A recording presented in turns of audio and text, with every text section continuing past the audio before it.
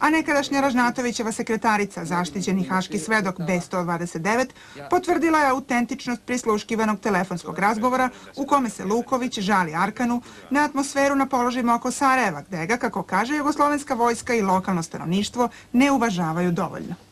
Mladić je došao, sad iz dana sam se svađao s njim gore u... Što, šta je bilo s Mladićem? Pa to, znate, znate ova kolona što je zaustavljena? Da. I čujete li?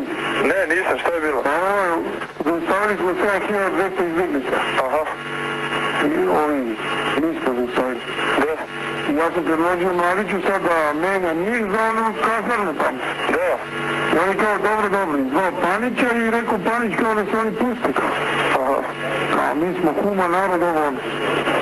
Ja sam onda, kad su oni to rekli, meni onda rekao Mladić kao, dobro, to ti nisam svojim ljudima da potvrđujem. Šta ti rekao? To ja kao s mojim ljudima da vidim. Ne čujete? Kao da ja to vidim sa mojim ljudima. Da. Ja sam mu rekao, ja ne mogu to s mojim ljudima, ja sam vam uradio posao, a to što se vi tamo preko telefona sa njima diplomatičite, što su vas opet zabili, to nije moj posao. Da, da. Ne oni nas ovdje, ova komanda gore.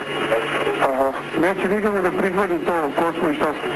Da, da. Mislim, ja s njima ne mogu da svađam, neće više da uhapse ovdje gore. A? Ne rekao, još malo pa će uhapse ovdje gore. Ako je tako, brate, onda šta imate tu da tražite?